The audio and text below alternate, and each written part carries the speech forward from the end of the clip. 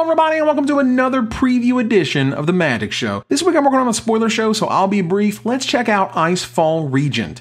Ah, dragons of Tarkir. This set has so many freaking dragons. I love it. We'll be discussing a ton of them soon in my upcoming spoiler show. But first, what's going on with this dragon? Well, he is all about the Dungeon Geists.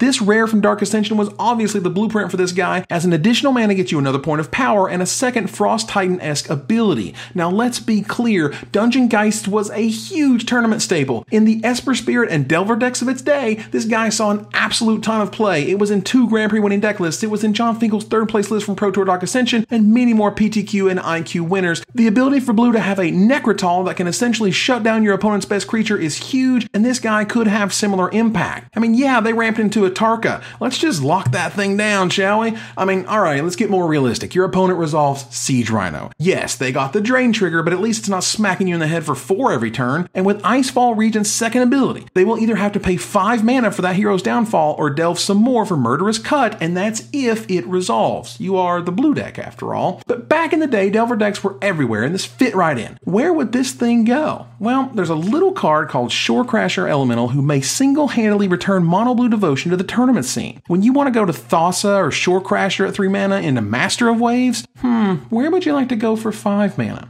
Now, what do you guys think? If it needs to be said, this is a limited bomb that you should windmill slam first pick. It's essentially removal in a color that never gets it, so enjoy it while you got it. But get yourself to the comment section and let me know so in a few months you can brag about how right or how wrong we both were. Until next time, Magic players, this is Evan Erwin, tapping the cards so you don't have to.